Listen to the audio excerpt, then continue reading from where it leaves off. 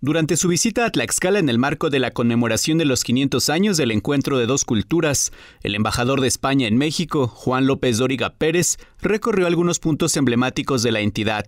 Guiado por la titular de la comisión organizadora, Anabel Alvarado Varela, el embajador caminó por la Plaza Chicotencatl para después subir al conjunto conventual franciscano de Nuestra Señora de la Asunción, catalogado en la categoría de los primeros monasterios del siglo XVI.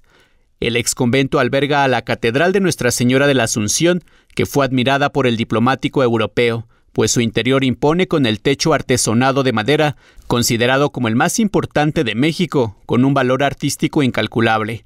En el recorrido, admiró la primera pila bautismal del continente, lugar donde inició la evangelización, y también observó los diferentes retablos que integran la catedral, como el altar principal de estilo barroco que data del siglo XVII y contiene importantes pinturas, esculturas y columnas de madera tallada, entre ellas un óleo que representa el bautismo de un noble tlaxcalteca con Hernán Cortés y la Malinche como padrinos.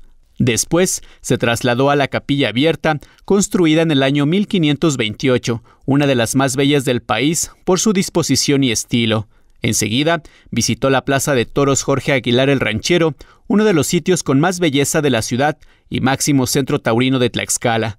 Para el fin de semana el embajador recorrió las zonas arqueológicas de Cacastla y Tizatlán.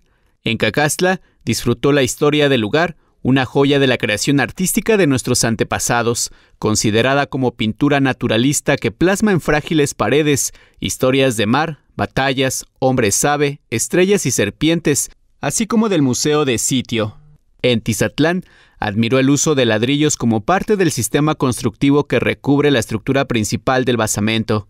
En el municipio de Tepeyanco, recorrió el templo y exconvento de San Francisco, conjunto que fue construido entre 1542 y 1585, llegando a ser un importante centro evangelizador en la región. Además, disfrutó de la danza de los huehues.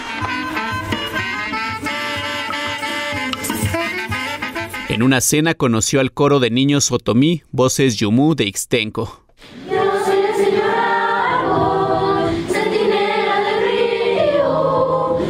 En su visita, acompañaron al embajador su esposa Rosa González, la senadora de la República Beatriz Paredes Rangel, el secretario de Turismo Roberto Núñez Balión y los alcaldes de Tlaxcala, Anabel Ábalos y de Tepeyanco Vladimir Zainos, entre otras personalidades. A. Morales, Ahora Noticias.